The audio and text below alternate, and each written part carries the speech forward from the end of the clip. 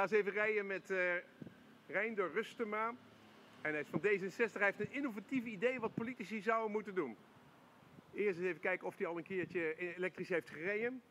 Ik heb hier een uh, Tesla bij me. Heb je al eens uh, elektrisch gereden? Ja, ik, heb, uh, ik ben enthousiast gebruiker van de Car2Go, de kleine smarts. Oh ja. Maar hetzelfde principe, wel... alleen deze is twee keer zo lang. Nou, laten we eens even gaan kijken. Stap maar in. Rijder, ik heb jou hier ik heb jou in de auto omdat jij een voorstel gaat indienen voor D66. Wat doe je voor D66? Ik ben kandidaat 32 voor de gemeenteraadsverkiezingen. Kansloos dus.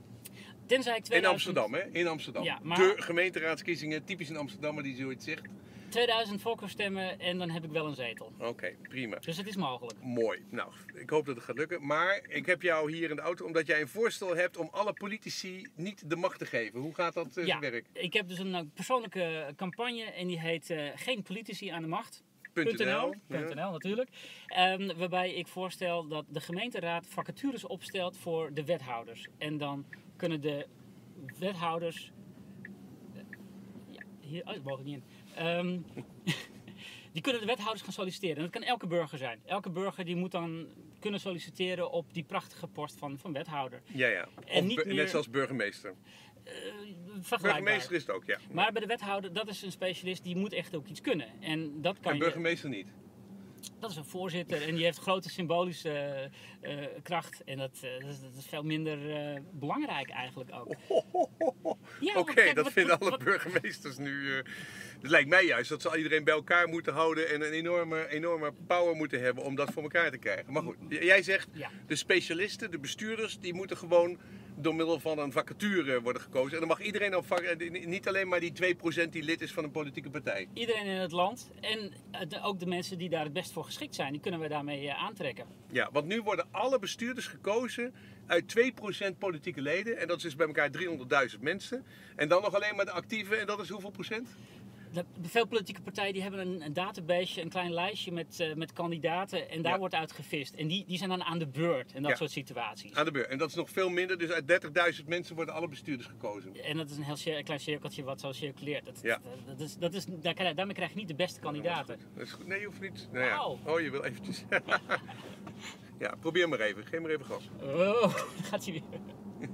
Ja, dat is de Tesla Smile die we ook even hebben. Oké, dus en eh, dat voorstel ga jij indienen bij eh, de, het, congres, D66, die moet daarover over gaan stemmen. En ik ben heel benieuwd wat de partij adviseert over dat eh, voorstel. En dan wanneer gaat dat gebeuren? Aanstaande zaterdagmiddag, dan... ehm, Ja, hij ziet je niet hoor. Dus je moet even Ja, ik ben, ik ben natuurlijk stil. ik ben natuurlijk maar stil. Ja.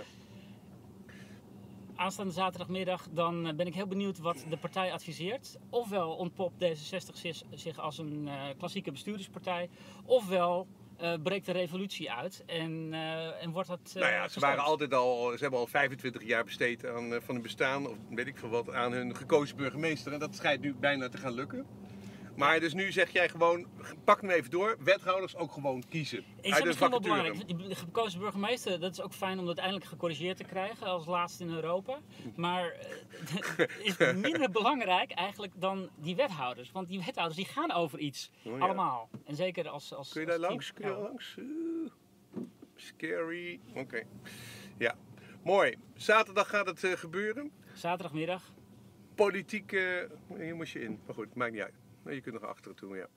Dus eh, zaterdag ga- gaat het gekozen worden. Heb je het al een beetje voorbereid qua besluitvorming? Heb je al genoeg mensen die, eh, die, die je steunen en die het een goed idee vinden? Nou, wat ik doe, ik, eh, dat heb ik op het vorige congres ook gedaan en dat is echt hartstikke leuk. Ik, ik heb een, eh, een sandwichboard waar mijn je, motie... je moet wel, als je gewoon elektrisch rijdt, moet je wel dingen doen als richtingaanwijzer. Want Oh, die fietser, die had je gewoon bijna, die fietser had, je, die had niet gezien dat je rechtsaf wilde.